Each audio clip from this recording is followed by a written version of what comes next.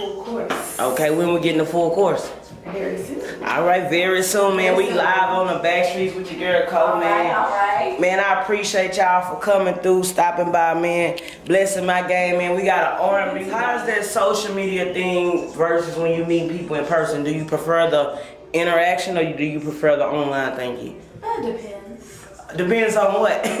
It just depends on how I feel that day. I feel it. I feel it. You know. Why did you choose Calico to be featured on such a sexy song? What made you say I'm gonna put that shit on? Because, like, the way he, his delivery is Okay. amazing. He's uh, the, and he's he's he's like a brother to me. I've known him for some years. He's uh he's my husband's best friend. Actually. Okay. Married. And yes, I'm How long you married. been married? Um, we we're actually going to be going on two years. Man, on congratulations, Tuesday, but we've been together congratulations. for 10, so- Okay, does he support the dream as far as the music? Absolutely. See, that's what um, you He's my on your team. photographer and my graphic designer. Okay. So any and everything that you see, um, all of my photos, Uh-huh. all of my artwork. Husband.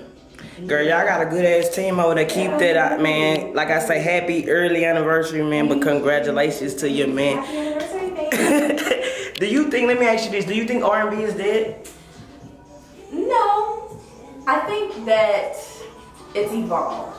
Evolved into R and bass. R and the type of artist I identify as. Okay, R and kinda like a, sub, a subgenre of R and B. Okay. So it's kind of like R and B mixed with hip hop, but it's like that bass heavy Mm. R and B. So, um, and of course, you know, anytime you hear an Ashten song, it's gonna be bass heavy. So I Ashten just love that big booty bass. Okay, okay, No. Ashten, man, is that your real name or is that, That your stage? name. Okay, what That made you go with? I'm gonna just use my real name as my artist name and just go from there with it versus let me come up with a name.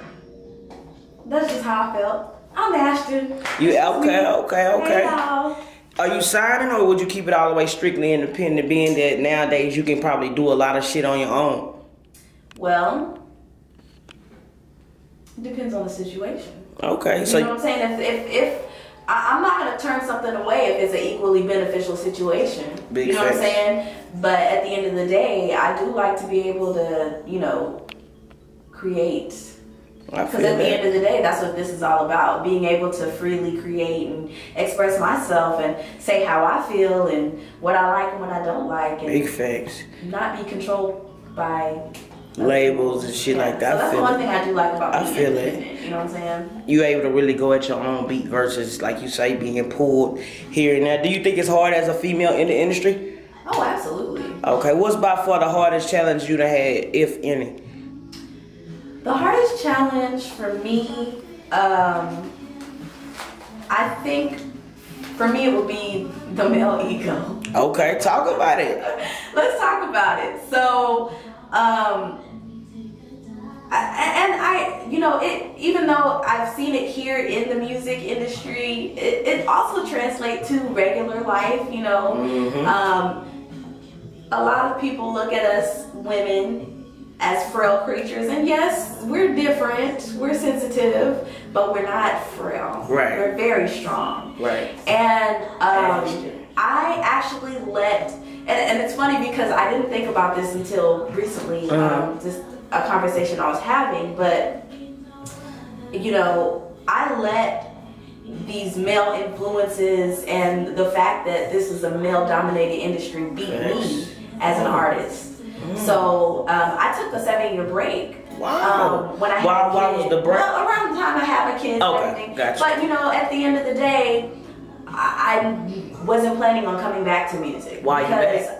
Why? Because I love it. Okay. Because that's what I Okay. love to do. Okay. But um, you know, the initial thing that was said to me was like, "Well, hell, you finna have a baby, you finna be a mom, ain't nobody gonna want to deal with you," you know.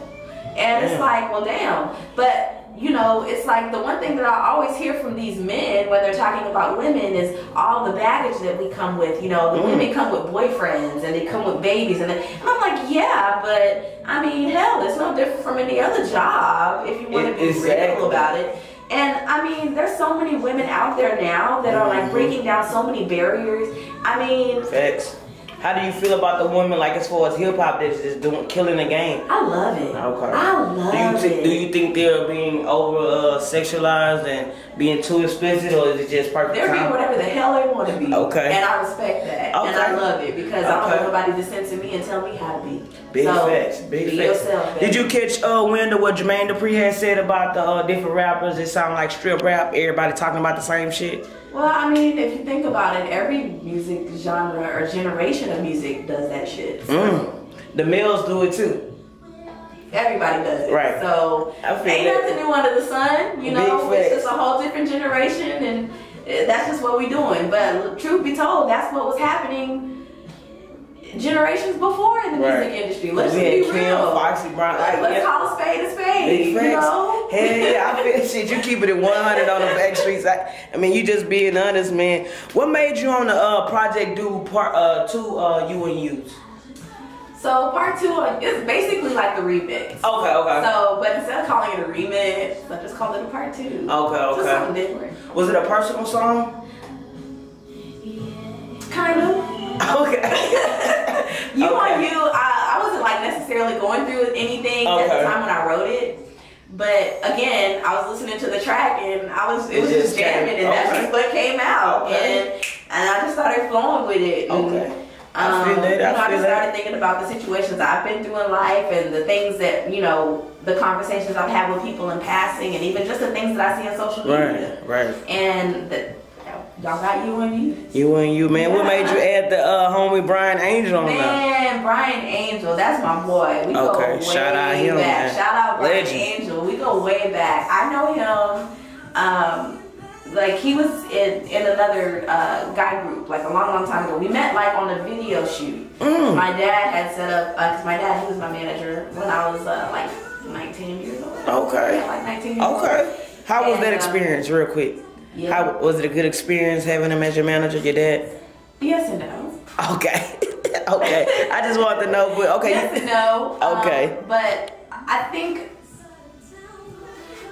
that the parent-child relationship is so interesting, Mm. and it's such an interesting dynamic when you bring the business aspect into it. Big And being so young, Big facts. um, because I started really professionally recording music when I was about 13 or 14 years old. Professionally. Correct. So you wanted to do, wanted to do this your whole life? Okay, okay. Yeah. Damn. So, with that being said, you know, my dad, uh, you, uh, my parents kept me sheltered from a lot of how the industry was because I was young, which Right, which is understandable. I get that. But be, I think because of because of that factor, I, I didn't understand a lot of things. So it kind of What do you, what, what you mean? us, They like, kept you sheltered as far as was this shit that they should have kept you fel- sheltered from? Did you find out later on? I mean, at that age, yeah, probably. Okay, okay, okay. You know, back Okay. then, I probably didn't think so. Okay. I was, you know, I'm, I'm grown. I'm, Right. Look, I got this. You know, Okay. whatever. But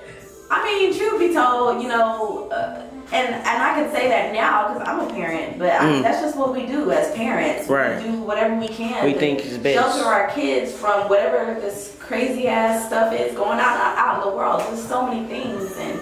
You know, you want your kid to enjoy their life without having to deal with the realities of the stuff that we have to deal with every day. I mean, Right. they can deal with that later on in the. I mean, they got the rest of their life to deal with. Right, that, but being that right, but being that you, you know, you want that's something you wanted to do. Do you think sometimes parents put their own fears on their children? Absolutely. Okay. Absolutely. And that's Okay. in, that's in anything. Right. That's in anything. Okay. You being a parent, why is that? Huh? You But being a parent, why is that Uh, parents do that? Put their fears, scare their child. We don't want our kids to go through what we had to go through. Mm, who's to say they will? I mean, they might not. Okay. They might not. But Right. you know,